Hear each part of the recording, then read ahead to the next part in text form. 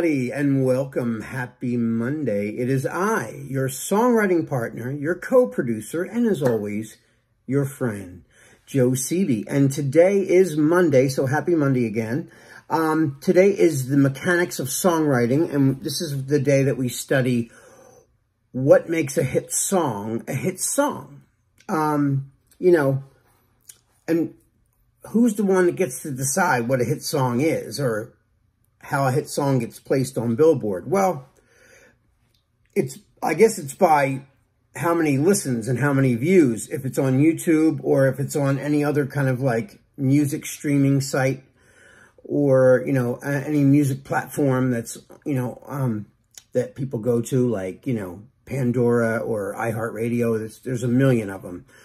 Anyway, um, the song that we're looking at today is a song which was actually picked by one of my dear clients, Carolyn Martin. Hello, Carolyn Martin.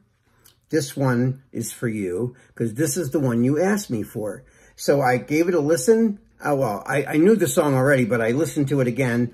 And uh, great song. This is a song called Rain on Me, and it's by Lady Gaga. And it's by Ariana Grande. So it's like a duet.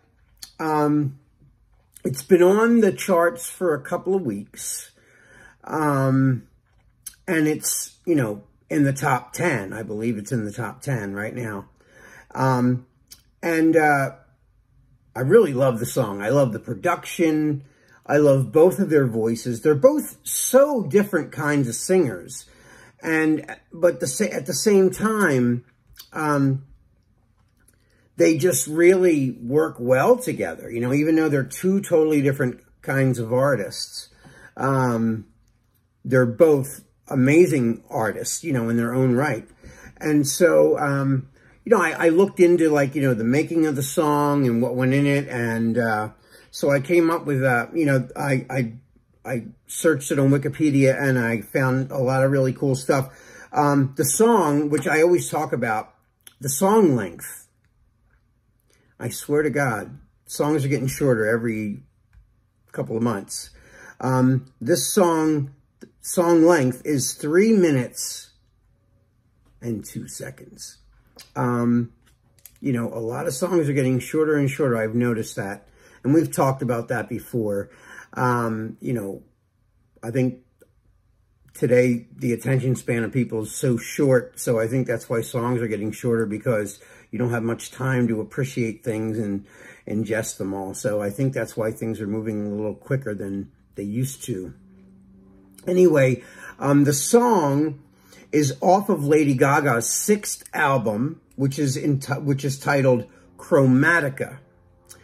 And uh, this song was written by Lady Gaga, Ariana Grande, uh, or Nija Charles, Rami Yacoub Tchami, spelled T-C-H-A-M-I, Boys Noize, that's somebody's name, I guess. All these producers have these crazy names now. Um, and it was produced by Blood Pop and Burns. I guess that's their working names. They don't put their, you know, real names there. And um, so um, uh, just a little bit on a little bit about the, the story. I'm reading it off of Wikipedia right now. It says um, an interview with Zane Lowe on Apple Beats, Apple Music Beats One. Lady Gaga talked about the writing process of the song. Ariana Grande was so wonderful, and I think that maybe she assumed that she was going to come in and I would be like, here, just sing this and thank you so much for your time, right? But instead, I asked her what she needed, how she wanted to do things. When she came to the studio, I was still crying.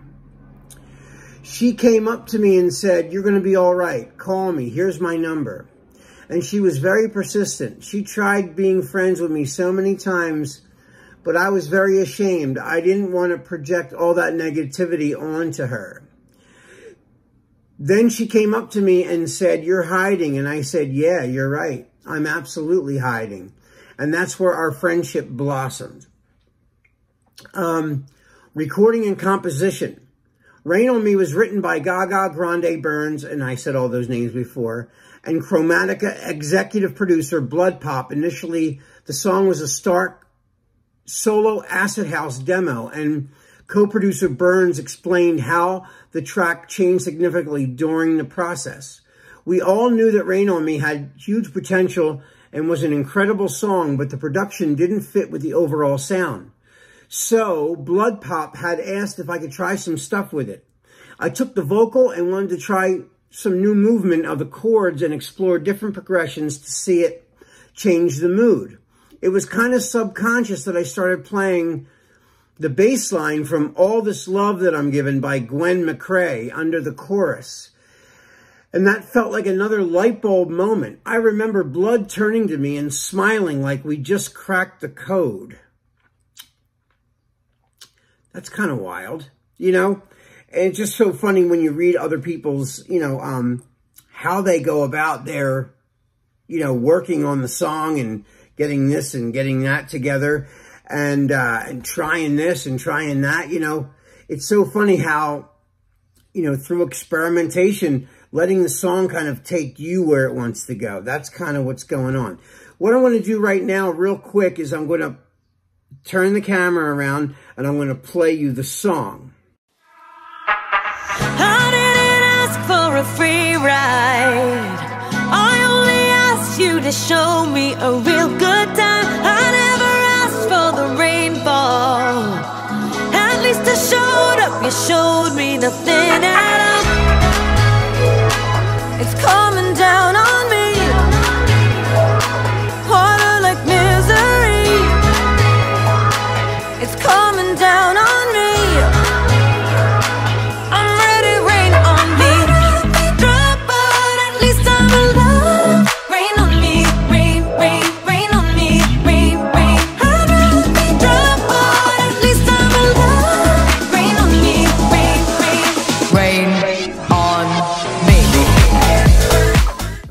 thought you guys might like that. I love that song. I think it's great. I love the verse. I love the chorus. Um, I wanted to read you something else that I just read. Um, Rain on Me is a 1990s influenced house, dance pop, and disco song with electro pop, French house, and Eurodance elements. It was composed using 4-4 common time in the key of C, C sharp minor with a tempo of 123 beats per minute. Most of the song follows a C sharp minor 7 A major ninth sequence, while the first verse and, and second pre-chorus adds a B add 4, and both pre-choruses include an F sharp minor 11 at the end. The track features an upbeat production consisting of synth pop elements and R&B influenced synth disco beat, synth claps, funk guitar strums, and rolling synths. It opens with a stripped down version verse where Gaga's vocals are in the forefront. It is then accompanied by a French house bass and a thundering percussion. Hmm.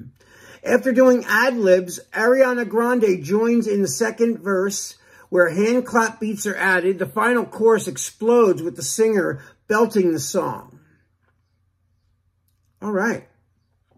So I think in a nutshell, um, that was a pretty descriptive view as well as an overall listen to the song, um, taking the song apart, you know, almost like having like a, I call them song autopsies where, you know, we look at the song, listen to the beat, listen to the song, listen to the vocals, listen to the production. I love all the production in the song. Um, I hope you guys enjoy, um, you know, listening. And I'm, you know, and I want to tell you one thing. I want you guys to listen to songs. When you listen to a song, break the song down. First time you listen to it, listen to the, the whole song overall. Then listen again. And then only listen to the vocal. And when I say the vocal, I mean the vocal and the lyrics and the melody. And then listen to it again and listen to the instrumentation and listen to everything that's kind of going on in the song. this is a really good, you know, listening to songs is the best teacher to help you become a songwriter and a producer in your own right, you know? So give it, give it a listen. Listen to it, like I said, a couple times. Let it really get into your psyche. Listen to everything that's involved in that song, okay? All right, guys, that's all the time we have today. Until tomorrow, we can discuss this tomorrow during the uh, live Zoom class tomorrow, okay? So I love you guys. I miss you. I hope everyone's doing well. This is your songwriting partner, your co-producer, and your friend, Joe Seavey, signing off. Until tomorrow, I will see you guys. Carolyn Martin, thank you so much for um, submitting this song as the song to be looked at for our What Makes a Hit Song a Hit Song series. All right, guys, I will see you guys tomorrow.